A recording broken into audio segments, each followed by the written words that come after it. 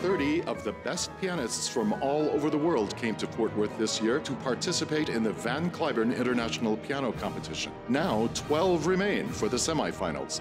Live from Bass Hall in Fort Worth, Texas, this is the Van Cliburn International Piano Competition.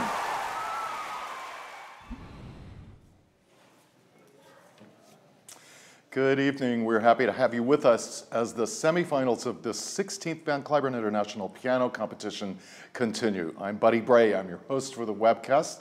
Sitting with me at the anchor desk is Jon Nakamatsu, who was the gold medalist in the 1997 edition of the Van Cliburn International Piano Competition. That was the 10th was the competition, 10th, yes. I think. What do the semifinals feel like to you so far from this side? Well, it's exciting. I love being here. I love hearing Mozart, so it's kind of it's a dream for me. We're going to hear some Mozart tonight, but in case you weren't able to join us this afternoon, there were two really stellar piano recitals. Here's a little look back at that. We started the afternoon, of course, with Yunchan Lim, the 18-year-old pianist from South Korea. How about that, Jon Nakamatsu? Yeah, again, stunning pianism, uh, fearless attacks in, in some of the most difficult repertoire ever penned. Uh, I really think it was transcendental, as in the title. He played with such ease as well. Next, we had Ilya Shmukler, a 27-year-old pianist from Russia who studies currently with our 2001 co-gold medalist Stanislav Ioudenitch. He played sort of a Mount Everest of a program, including the Brahms Handel variations and Prokofiev 8. What'd you think? Oh, I found it to be a performance with just a lot of technical and textural detail, great confidence and a variety and, you know, a form that really thrives on variety and innovation. He really did, and he sort of scaled that mountain with, with ease. He's got to be a tough cookie to play that much music that well in the semifinal round of a piano competition like this. There, we know there are a lot of ways that you can watch the Cliburn, but we want to acquaint you with a way you might not know about, and that is at hi-fi.com, where you can watch it in 4K HDR color, quite vivid, and 5.1 surround sound. If you're curious about that, just surf on over to hi-fi.com. We return this evening to Mozart Concerti, as you just mentioned. Yes. I, I'm so happy about this because I think we learn so much about a performer by the way they perform and think about Mozart. I, I just think it's such a great way to hear these uh, artists really kind of on equal footing as much as, as much as one can be in a piano competition. We're going to hear a little more of the D minor concerto tonight, two more performances of the D minor, the same with, as we heard last night. We're going to drill down a little bit on why so many competitors are, are choosing the D minor. We'll do that in a different segment tonight, but we're also hearing 459, which the F major, which I don't think we've ever heard in a Cliburn competition before. Possibly not. You know, it's uh, it's also really it belonged to that period where Mozart was just churning out piano concerti for his own use, but also just really to maintain a reputation uh, as one of the top composers and pianists or keyboardists in, in Vienna. And you know, I, I love this piece. It just I think its simplicity. In, fact, in the opening of the first movement, the theme just seems so simple, but what it belies just some, just this developing interest in the complexity of the orchestra. And so more and more the orchestra becomes not just kind of this monolith against which the soloist plays, but actually a partner, especially with the winds and how the winds are treated and, and how the orchestra is given more and more of a prominent role. And we're looking forward to that performance of K59. But ahead of that, we'll have Yutong Sun giving us a performance of K466, which is the D minor concerto. Let's take just a second, get to know Yutong Sun a little bit better. My name is Yutong Sun, and I come from China.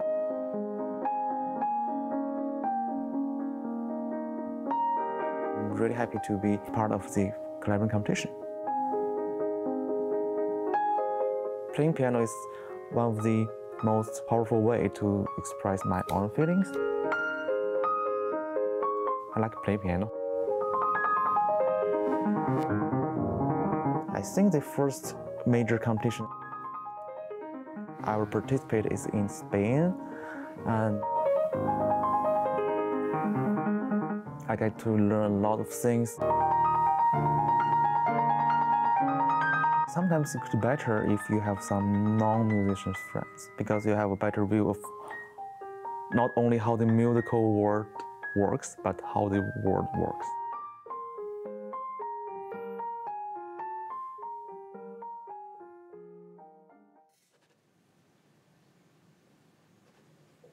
We're going backstage with Yu Tong Sun there with backstage mom Kathy Cummins.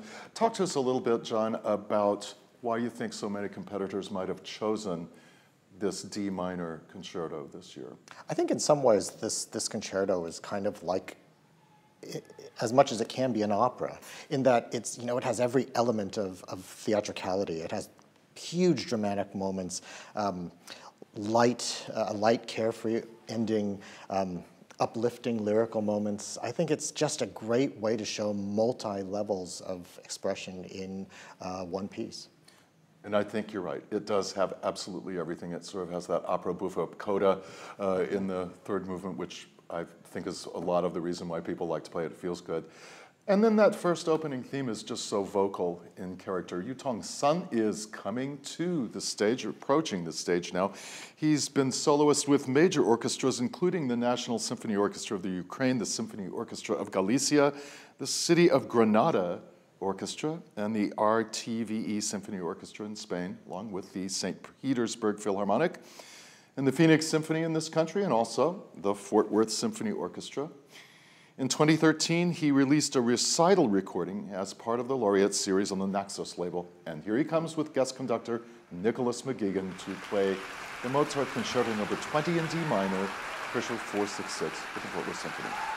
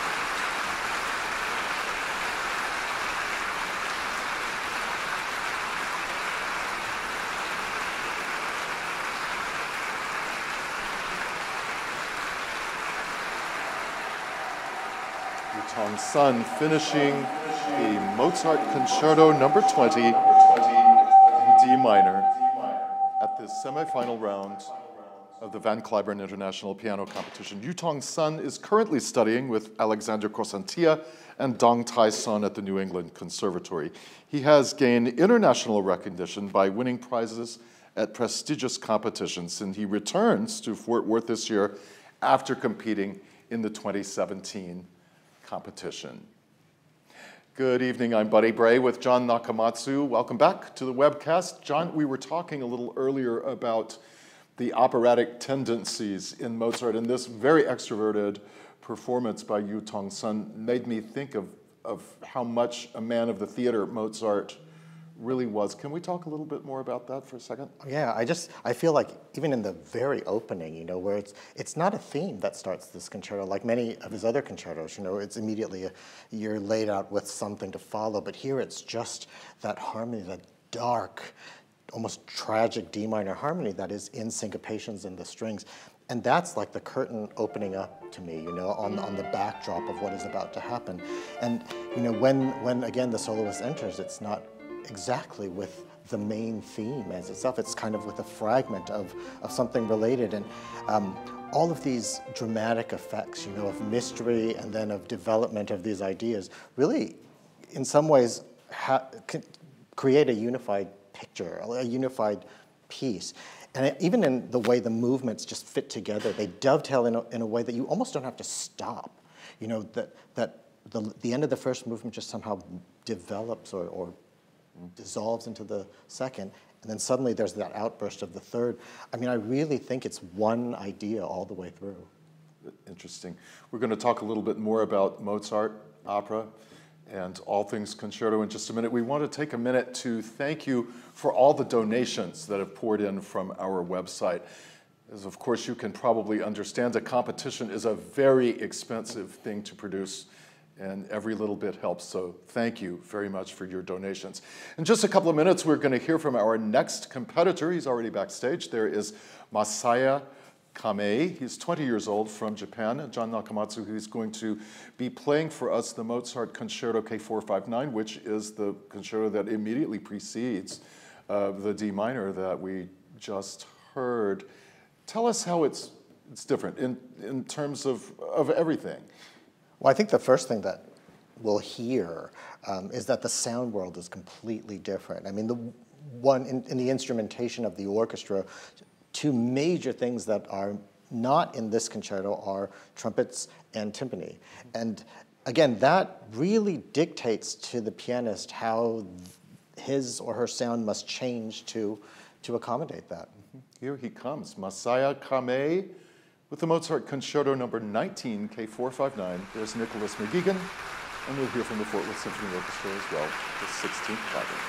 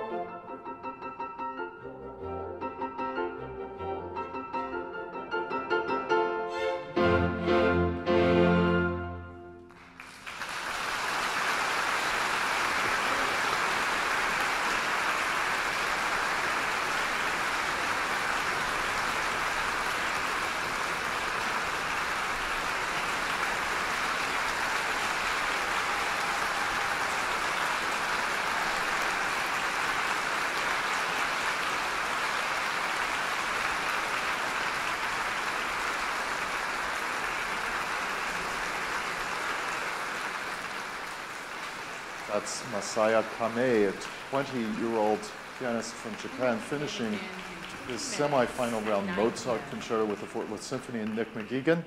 He played the concerto number 19, Köchel 459 in F major.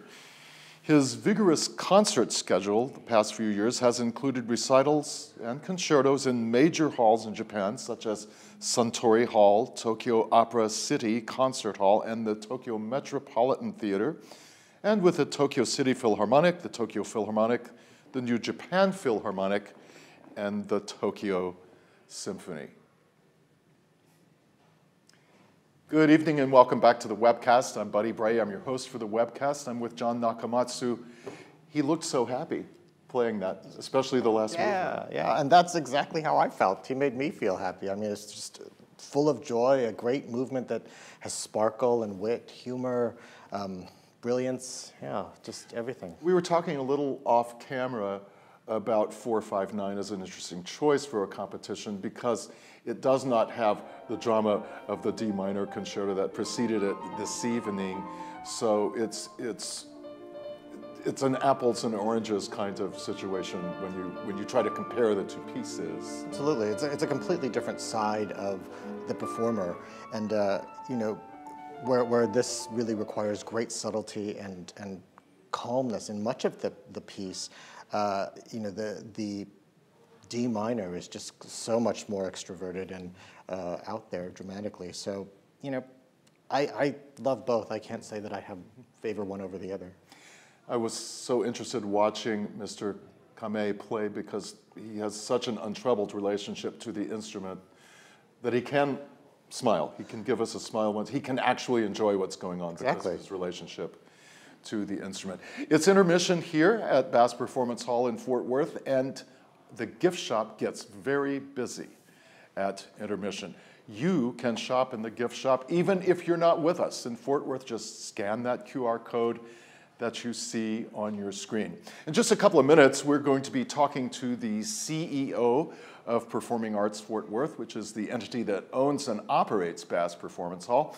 But we thought ahead of that, we would give you a little look at the history of Bass Performance Hall. Take a look.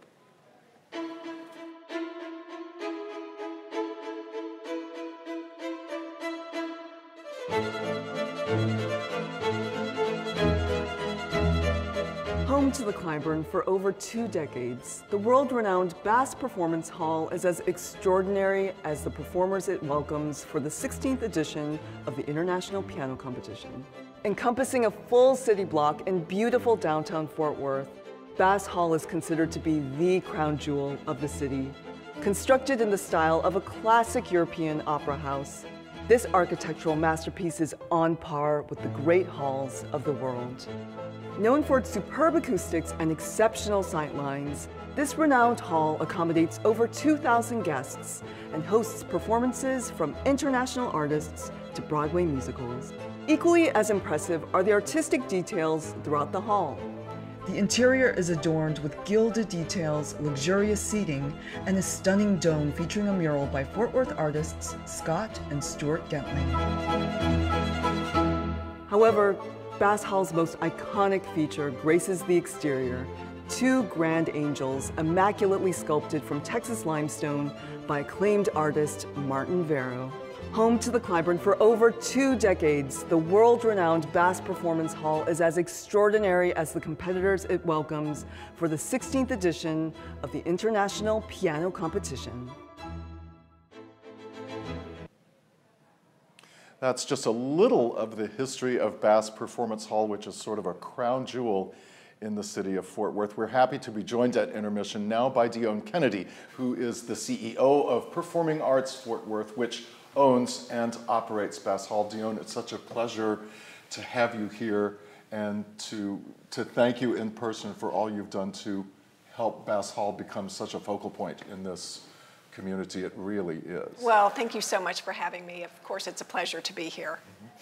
Bass Hall doesn't just present the Cliburn competition. It's, um, to me, it's always existed on a couple of different levels. It's home to our performing arts here. Yes, I mean, we have four resident companies who call Bass Performance Hall home, and that includes the Fort Worth Symphony, the Texas Ballet Theater, Fort Worth Opera, as well as the Cliburn.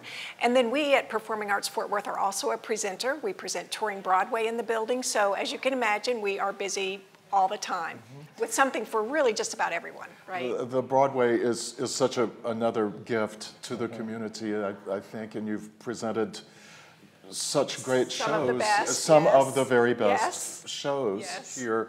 Uh, about those resident companies, though, is that ever just a scheduling nightmare to, to get everything slotted in and make it work? It is right? literally like a puzzle that is constantly in motion and constantly refitting pieces because um, we are already looking years out for certain uh, product that would be touring perhaps, but we also are completely aware of the schedules of our resident companies and what's needed for every one of them.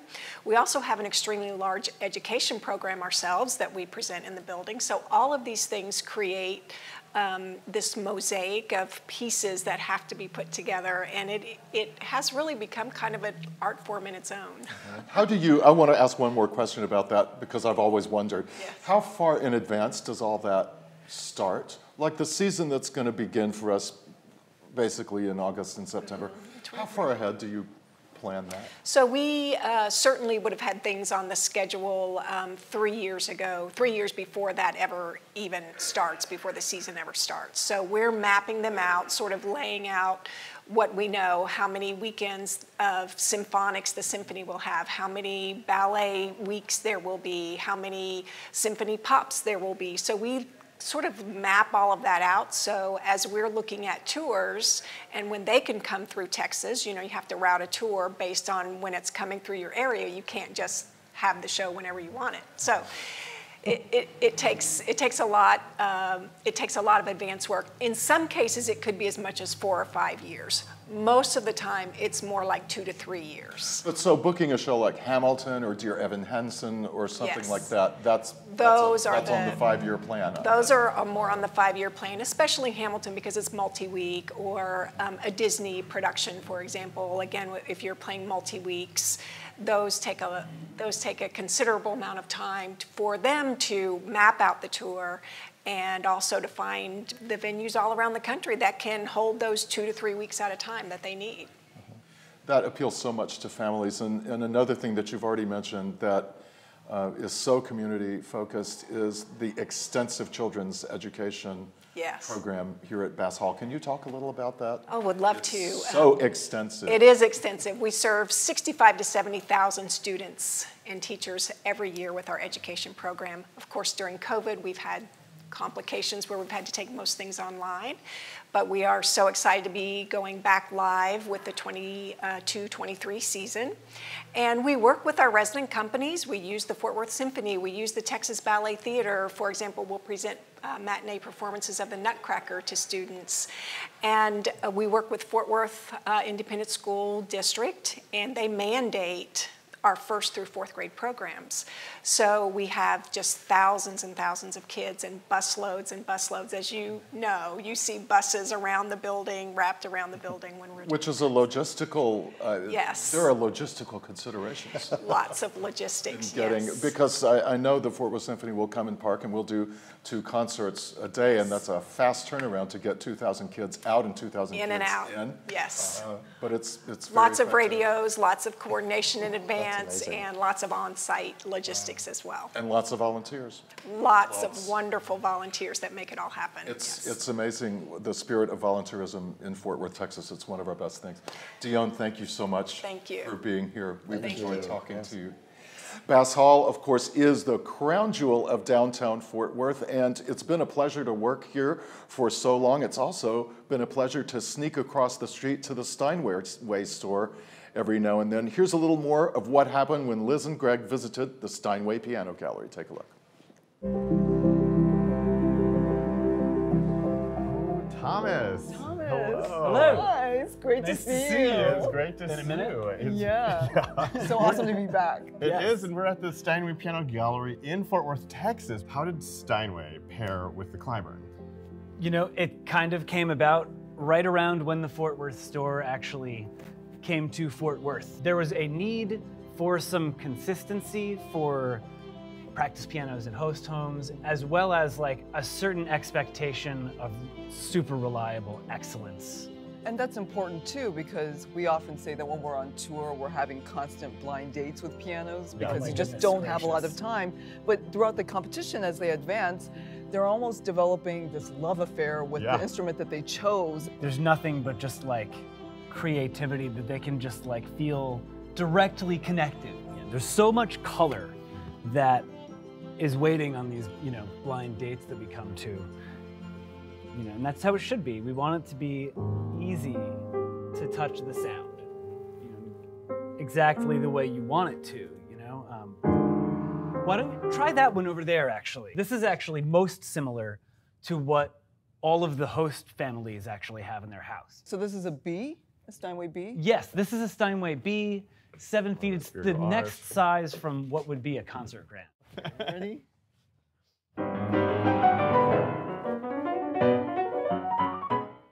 How does that piano feel to you? I mean, it's lovely. It just feels so easy to play on. Also, in a great hall like Bass Hall, I can only imagine how grand and powerful the Steinway piano Yes, is. that massive projection and that wall of sound.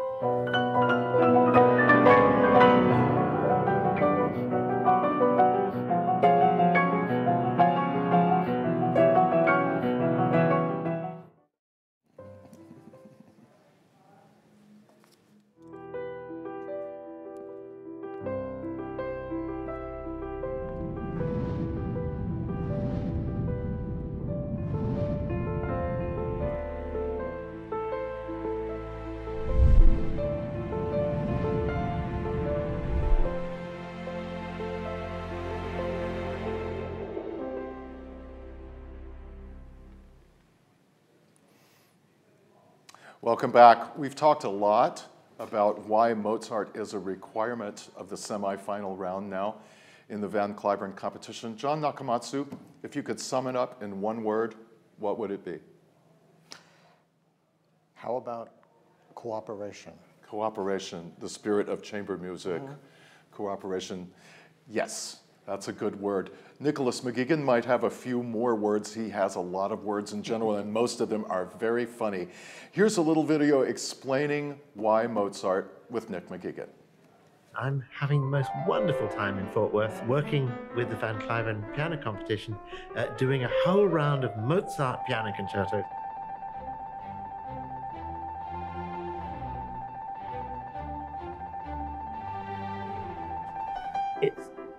Great test for the musicians. They're collaborative. So you've got to be very sensitive to what other people are doing. You're not just doing your thing. And that's a very great way to sort out who is not only a great pianist, but also a great musician.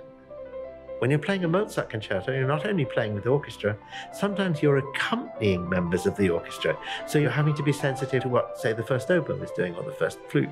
And that's a skill that comes with experience, and some have it and some don't. Some will acquire it while they're playing this very concerto on this stage. It's a great way to test how mature an artist is, what experience they have, and for some it comes naturally, and for some it's an effort. And that's what the jury will be looking for. Most of the pianists are about the same age as Mozart was when he wrote the pieces. I think that's incredibly exciting. They have youthful energy, and it, Mozart had that too, and I think that's wonderful. I hope that's as exciting for them as it is for me to hear it. It's just a joy to do, I have to say. Fort Worth loves Mozart, and we love Nick McGegan. Our next competitor in the semifinal round is South Korean pianist Jinhyung Park. He's 26. Let's take a minute and get to know him a little bit better. My name is Jin Park, and I'm 26 years old, and I'm, I'm from South Korea. I just try to make a 40 minutes recital, which they require. And then, well, both are my favorite pieces, especially Liszt, uh, Franz Liszt. I've played it since when I was um, 12 years old, so that's why I picked it.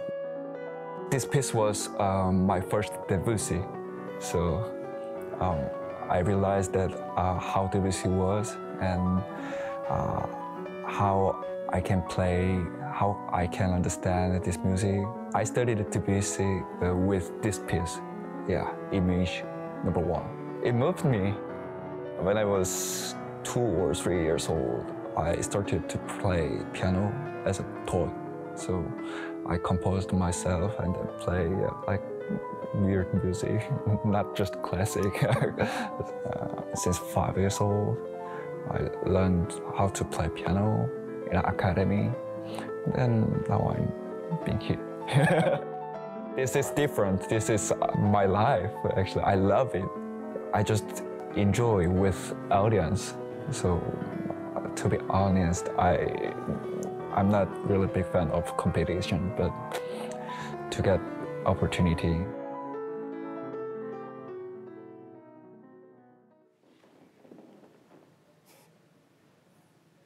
We're just a couple of minutes away from hearing Jinhyung Park and the Fort Worth Symphony Orchestra, and Nick McGegan, play the Mozart D minor that we've heard already three times in this semifinal round so far. It's been very popular. Jon and I were talking about that a little bit earlier. Jon Nakamatsu, I want to talk about a particular moment in the first movement of Mozart concertos and sometimes in the last and sometimes in the slow movement as well, but it's a moment at which the orchestra comes to a rest or to an, a halt sometimes on a, on a chord which sounds good but also unstable at the same time. And then the pianist takes off for about two or three minutes. We call it a cadenza. Why is it there? Why is it there? Well, you know, it's not unlike what we're doing right now. You know, the main action of the evening has kind of stopped and we're given us about three minutes to fill. And what do we do? We improvise. we talk about what just happened. We comment on what's going to happen. But in Mozart's time, the cadenza, this, this little hole, gave the soloist the opportunity to make up something based on the material of the first movement or whatever movement they were in. Uh, it tested the composer or the pianist's compositional skills, improvisational skills.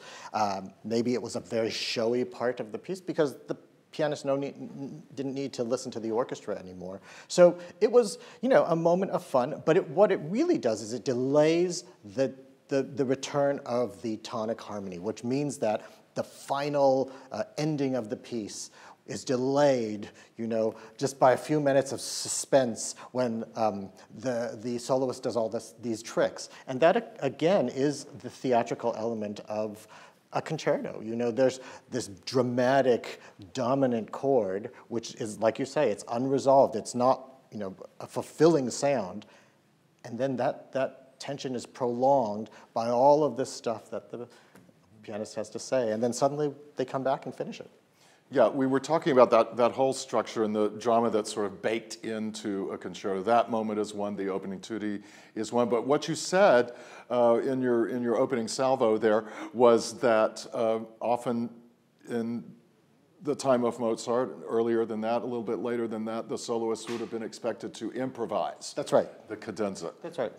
I think we've lost that ability. That's that's well, been trained out of us. And it, and it, started not too long after Mozart. I mean, Mozart started writing a few of his ideas down for students and for other people, but we can, can never really know what he did. By the time Beethoven came along, you know, especially with his fourth and fifth, third, fourth, fifth piano, he started writing everything down, primarily because he didn't want anyone to just play whatever they wanted in his piece, mm-hmm. you know. So, uh, and I think from that point on, composers were very, very deliberate about what they wanted to happen in that time. It was no longer a time for you to just show off. It was they still wanted to retain control, the, the artistic control somehow, uh, and that's what happened really, in a nutshell, to the to the improvisatory aspect of the cadenza. Interesting. It's fascinating subject because as classical pianists, we, we mostly play what's on the page now.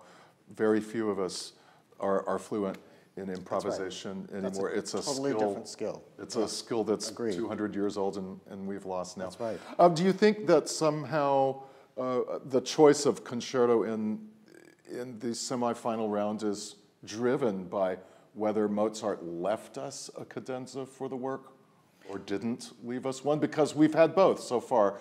We've had the D minor concerto, we're about to have it for the fourth time. Mozart didn't leave us a cadenza, but Beethoven, next best thing, right? That's he right. left us one.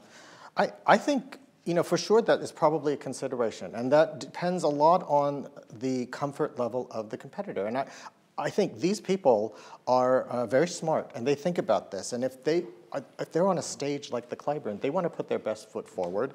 And certainly if they don't feel comfortable improvising or writing their own piece, they are definitely going to want to use one that is established and accepted. Our next competitor is backstage now. He is Jinhyung Park, 26-year-old pianist from South Korea, about to go on stage at Bass Hall to play his semi-final round Mozart concerto. He's playing the Concerto K466 that we've talked about and heard already three times in this competition. Very popular work. He's getting ready to walk to stage now. Big smile on his face. That's nice. Shaking hands with Nicholas McGegan. Jinhyung Park is also interested in conducting and composing. He cites his deep love of music as his primary motivator in life. He says he expects the Cliburn to be an unforgettable experience for an optimistic future. Here he comes to the stage, Jinhyung Park with Nick McGegan and the Fort Worth Symphony for Mozart's Concerto Number 20 in D minor, official 466.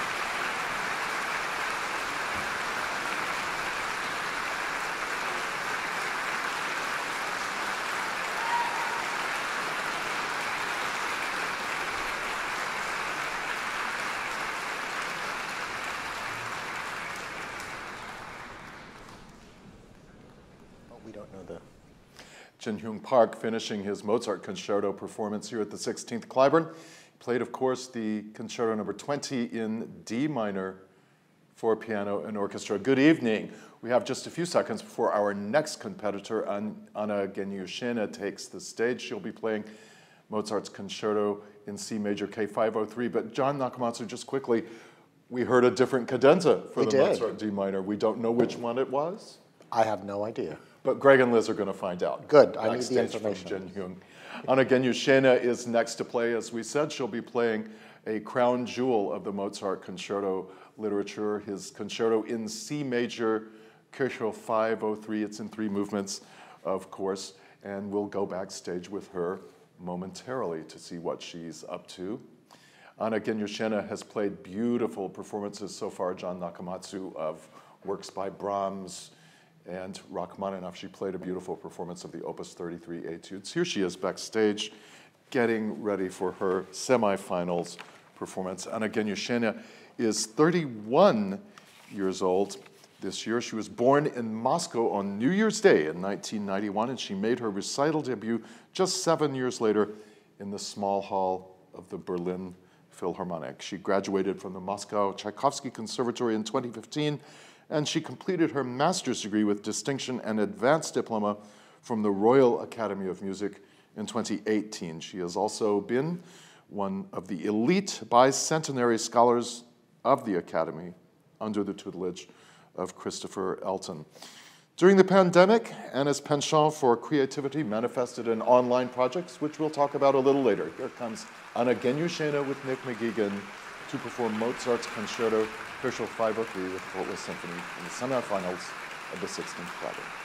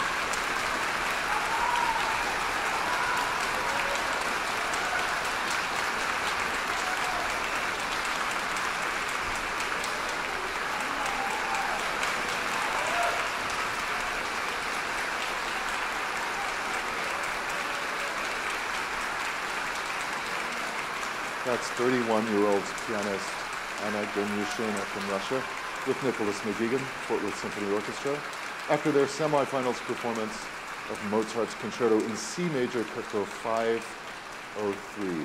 We were going to tell you about some of Anna's pandemic projects. Her creativity manifested in some online projects, such as a series of online recitals for the Vancouver Chopin Society, participation in the Armchairs season of the Moscow Philharmonic, and recording sessions for the Conspirito Music channel on YouTube. Her debut CD was released on Linn Records in March of 2020. We surely appreciate your spending your evening with us here at the semifinal round of the 16th Van Cliburn International Piano Competition.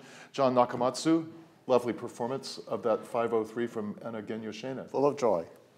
Beautiful. And also we heard from Jinhyung Park. We didn't get to talk about him, but we're sending Liz and Greg after information on that Good. cadenza. Good. We need to know. yes. All right, tomorrow we start afresh at 2.30 with piano recitals again. We'll hear from 30-year-old Honggi Kim from South Korea and then 28-year-old Marcel Tadokoro, who represents France and Japan. And then again in the evening, Jon, we'll hear some Mozart concerti. That's right. We'll hear uh, four of our semifinalists, Clayton Stevenson, uh, Changyong Shin, Yun Chun Lim, and Ilya Shmukler. And we'll actually hear two more performances of that Mozart D minor concerto. I'm looking forward to it. We'll also hear the Concerto K467 in C major, that's a famous one, and something that's never been played at the Cliburn before, his Concerto in E flat, number 22, Köchel 482. In both cases, both sessions tomorrow, Jon and I will be with you five minutes ahead of the session, so that means for the 2.30 session, we'll be with you at 2.25. For everyone here at the Cliburn, I'm Buddy Bray with Jon Nakamatsu. Thanks so much for watching this evening. Good night.